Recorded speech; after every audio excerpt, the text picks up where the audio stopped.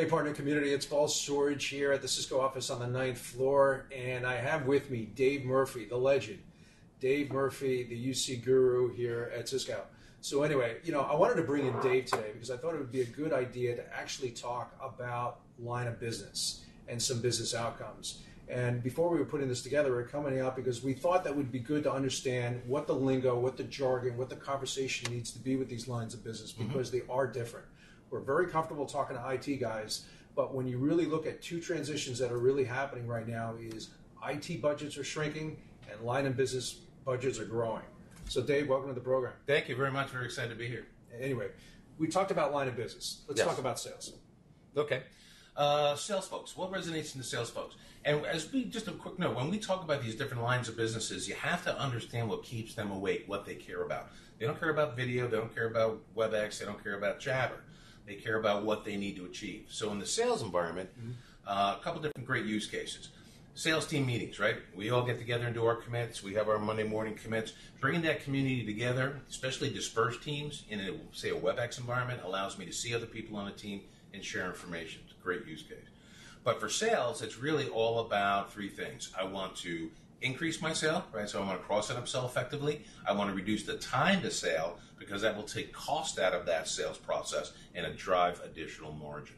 And so when you're talking to sales folks or sales uh, executives, talk about enabling uh, on the street sales folks with a new uh, capability or new set of capabilities so that when they're in front of a customer and they're trying to do a piece of business and that customer comes up with a question or a concern that that person cannot answer, traditionally we would take that down as an action item, disengage the sales cycle, get the answer, come back, re-engage, and try to get back to where we were for close. Mm-hmm. Now I take out my tablet, I look at Jabber, Jennifer the engineer is available, I dial her up, can you talk to my customer? Yes, one button push on that tablet, I have a WebEx, Jennifer's talking face to face with my customer, sure. answering his questions, bringing up some supporting information.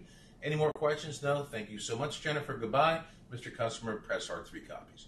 So if I can address issues during the sales visit that allow me to shorten that cycle time or actually execute a buy at that time by grabbing remote expertise, mm-hmm. technical or executive, in a rich media way on demand, that's going to be huge for the sales guys. You know, I just tend to think we're all in sales, right? So if there's not one group that we can resonate and be relevant the most, it's obviously sales because we're doing the same thing they're doing, and these are the tools that we use. You should be using them too. Agreed. Yeah. Let's talk about marketing.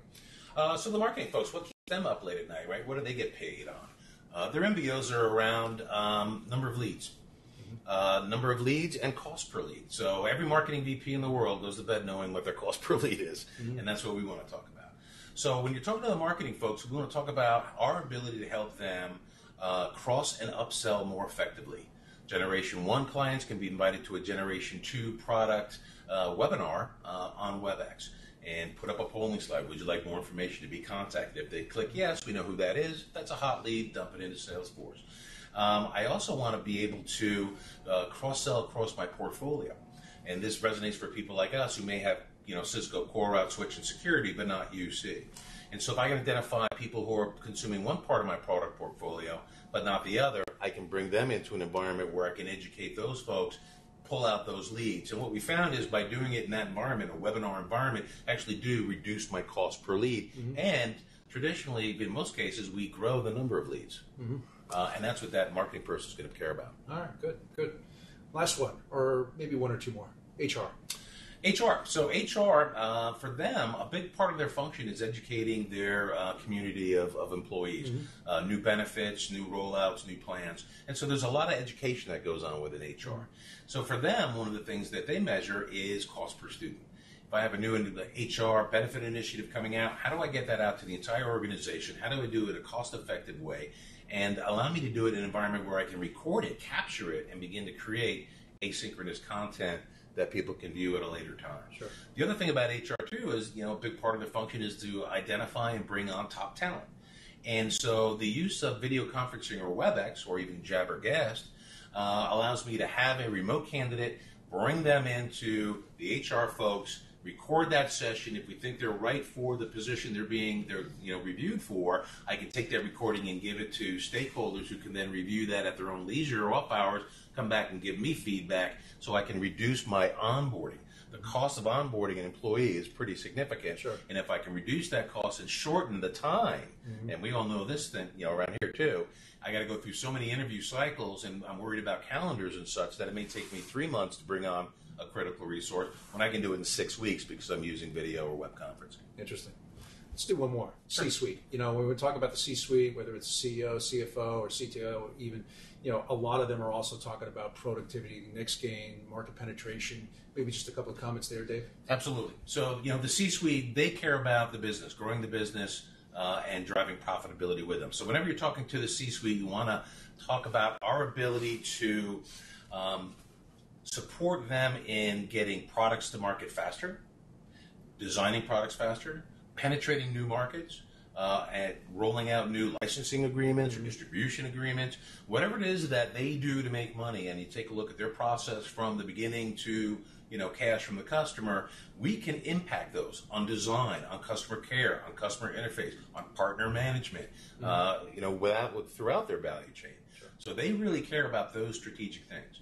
The other thing that you should talk to the C-suite about is innovation. Okay, uh, you know when I do big hotel room kind of events, and I say, "Hold up your hand if you think innovation is really critical," and we talk about Wang and Smith Corona and all the folks who didn't innovate, uh, everybody's hand is up. And I say, "Leave your hand up if you have an innovation budget." All the hands come down Yeah.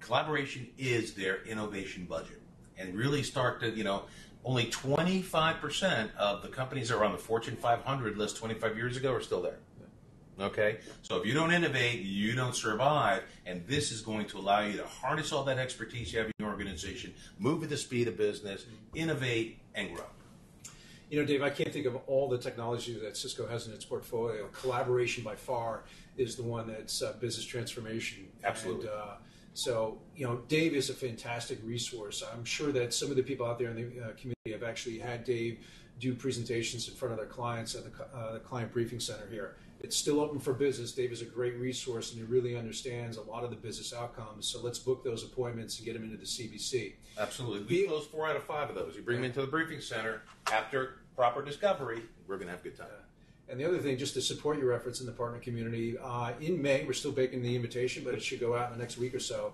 Uh, we'll have a UC admin demo lab. Uh, some of you are familiar with those, so be on the lookout for that. Any question for us, reach out to me. You can reach me at 212 714 4051. Uh, and I'm 212 714 4477. Until next week, it's Dave and Paul. Talk to you. Take care.